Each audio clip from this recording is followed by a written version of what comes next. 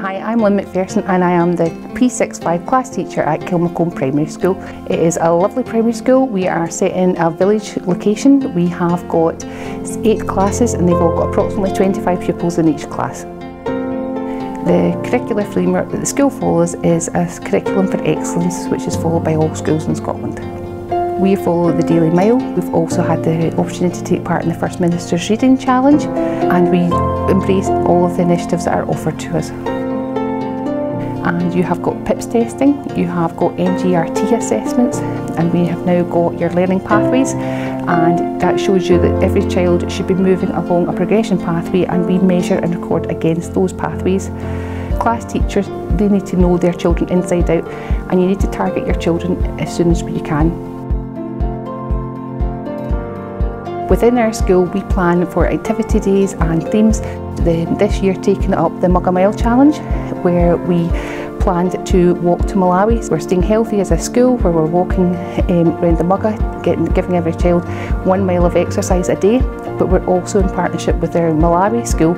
Um, Inverclyde Council are involved with that as part of the Inverclyde Million Miles Challenge.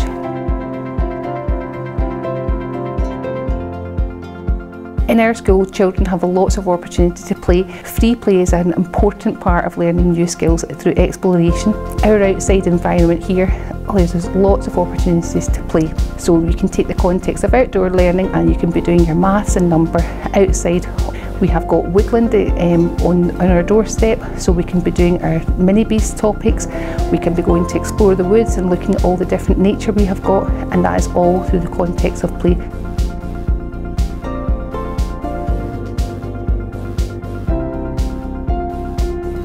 Within Kilmacolm we are very fortunate to have lots of visiting professionals.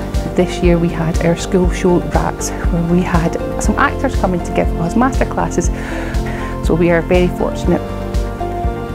We couldn't be without our Active Schools Coordinator and the Active Schools Coordinator do lots of sporting activities throughout the year. They run um, lunchtime clubs, after school clubs, we've got netball, we've got basketball, we've got football and all these people help make the whole school community vibrant We are so lucky that we have got excellent staff in the school that use IT to its fullest. Within a classroom you have got your smart boards now that the children can come and interact with. They are very confident from an early age and know how to work these. We also have laptops in, the, in classrooms as well for children to use. This can be particularly important for children who have barriers to their writing benefits of children using technology are skills for life. Technology is accessible for everyone. Partnership working is essential when you're dealing with children with complex needs. We have got lots of professionals that come in to support the school. We have educational psychologists, we have got speech and language unit. Professionals need to work as a team and communication is key for that and we all work together for the best of the children.